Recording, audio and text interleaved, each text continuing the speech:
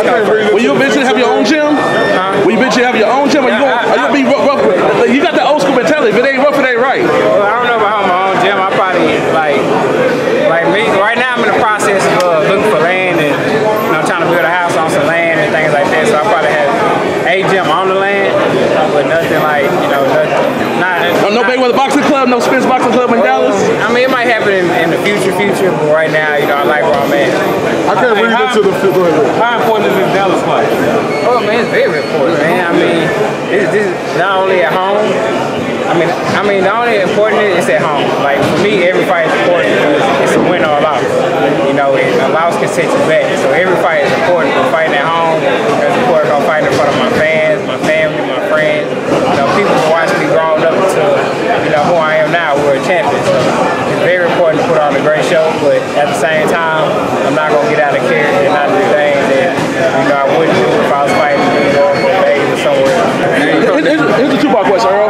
Being from Dallas, you fighting at the Star. How big it is eventually fill up Cowboy Stadium at the big house and get that 80,000 against a Canelo or somebody big name that get that notoriety? Is that one of your goals? That's that's the ultimate goal. I mean, once I fight, you know, at the at the Cowboy Stadium and I fill the Cowboy Stadium up, that means you know I'm where I'm supposed to be.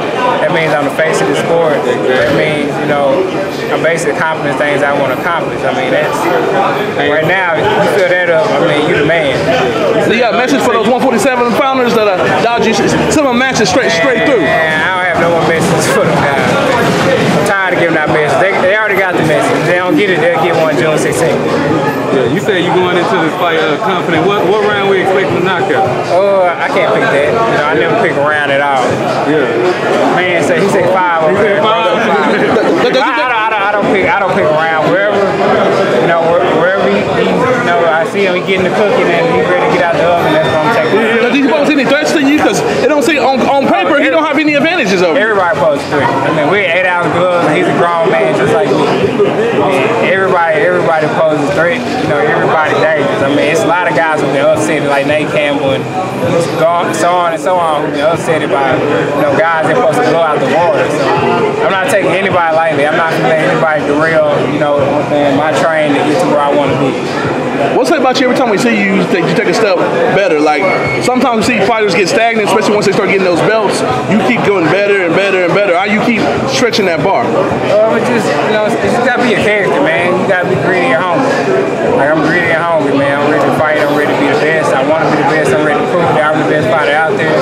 So, um, you know, I'm gonna stay hungry, stay dedicated. You know, I had, I had two little girls. I want the best life they can have. I want them to go to private school, things like that. So, I mean, in order for them to get that, man, I gotta stay focused, stay hungry, stay dedicated. Does that motivate you? Uh, Those motivate, kids? motivate me a lot. My kids, everything else motivate. Even before, you know, my kids motivate. It, my kids really got me, got me more, more. I was already serious. My kids got me more serious. I mean, I can't say, you know, what I'm saying that they my inspiration because I was number one, like top in that amateur before my kids. So they just got me more hungry, more disciplined. Like, man, I can't be playing because I had two little girls relying on me. So I can't, you know, what I'm saying I can't take a step back.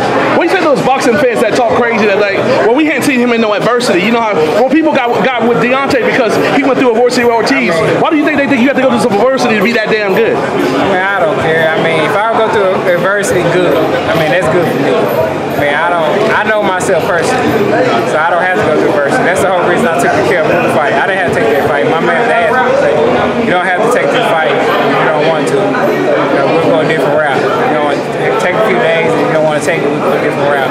But you're gonna get a title shot. You don't have to take this fight. And I said I'll take it because I know what's inside myself and I know my ability, and I don't have to. You know, what I'm saying I don't care about what anybody else thinks about me or say, oh, he has to prove this, he has to prove that. Because I know what's inside myself, I know what I got, you know, and I know the big heart that I have. I know I'm willing to, you know what I'm saying, yeah, willing to literally be on my deathbed to get the world title. So, I mean, it is what it is. I mean, I got a lot to prove to them, but I have nothing to prove to myself because I know my abilities.